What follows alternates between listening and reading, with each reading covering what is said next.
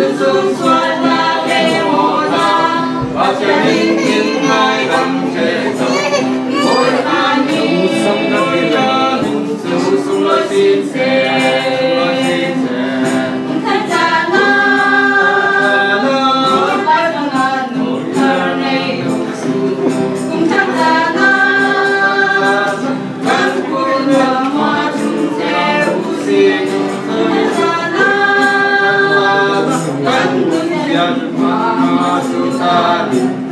mình, dù